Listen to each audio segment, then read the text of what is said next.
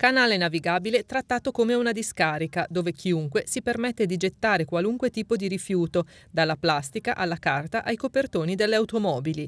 L'erba cresciuta sulle rive, lo segnala Adelaide Leucci di Spinadesco, è stata sì tagliata ma smaltita non tra le fiamme della centrale a biomasse, bensì all'interno dello stesso corso d'acqua che doveva rappresentare tra Cremona e Milano l'alternativa ecologica alla gomma e invece si è fermato a Pizzighettone.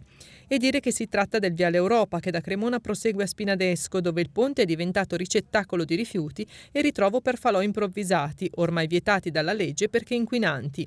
Si aggiungono sono persone che abbandonano selvaggiamente immondizie a cielo aperto, c'è chi getta il cartone della pizza dal finestrino dell'auto in corsa e chi dissemina sacchi neri, scatolette o bottiglie vuote, mentre i cartelli dell'AIPO, l'Agenzia Interregionale del Po, emettono divieti inascoltati.